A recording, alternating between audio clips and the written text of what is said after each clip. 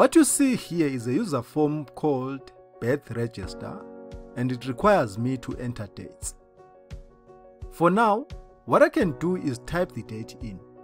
I could easily do this if this user form required a date only once. However, this is not the case. As you can see, I have more than 3 text boxes that require not only date but date and time. That's a lot of work and manually capturing these dates will slow me down and therefore lower my productivity.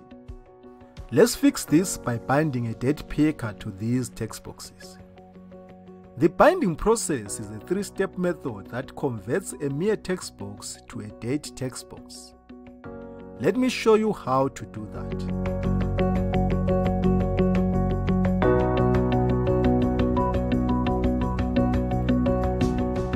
Let's change this text box and make it a date text box.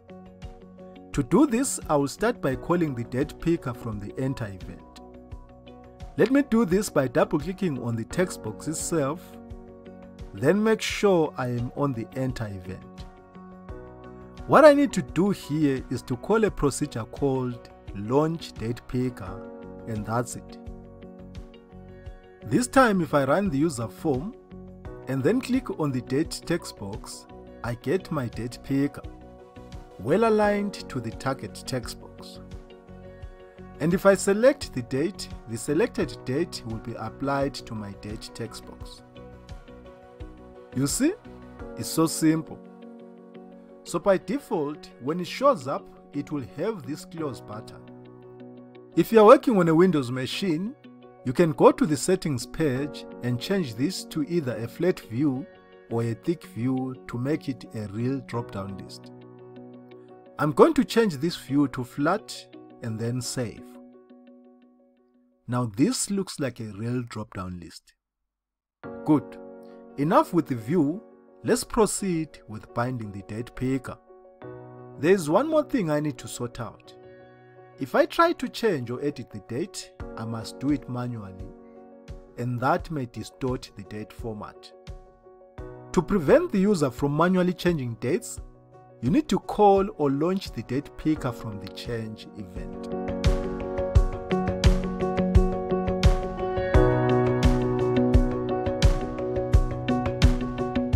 To launch the date picker from the change event, I must double click again on the date text box and then select the change event. Here, I will also call the launch date picker procedure and that should do the trick. As you can see, this is the same thing we did with the enter event. The date picker is intelligent enough to know what to do. Next, let's run this user form and see what happens when I try to change the applied date. First I will have to enter the text box and then apply a random date. Now let me try and change the year to 2018. Did you see that? Instead of applying the change, the date picker was rendered to me. I can now change the date using the date picker and my date format will always be consistent. No need for extra validations the date picker will take care of everything.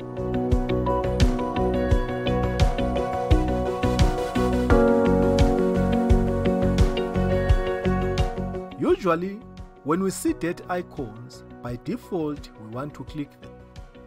For now, if I click on this icon, nothing happens. It's just a picture. Let's give life to it. To do this, I will double click on the image and then make sure I am on its mouse down event. So in this procedure, I will also write launch date picker. But this time, I must pass in the text box I want the date picker to bind with.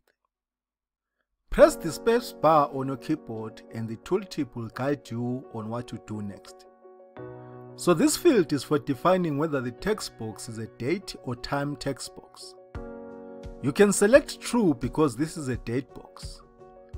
Or you can omit the field by entering a comma because it's by default true. Now this is where we should write the target text box.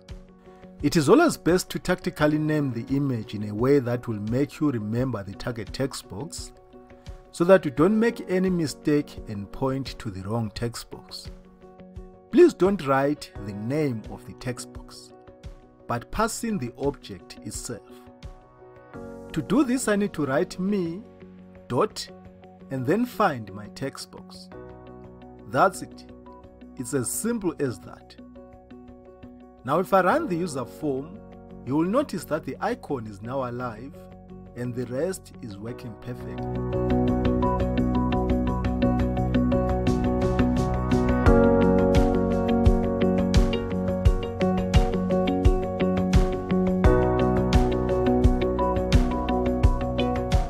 As you can see, the format that this text picker applies to the text box is based on your preferred formats. This is good if you want to distribute your files across different regions or countries that use different date formats. Your file will always fit in when it gets there. However, this doesn't prevent you from reformatting the date the way you prefer. If I want to change this format, I can still do so in the change event like this, and this will work without causing any out of stack space error. I teach a lot about simple and clean management of events in the fourth course in the Date Picker series.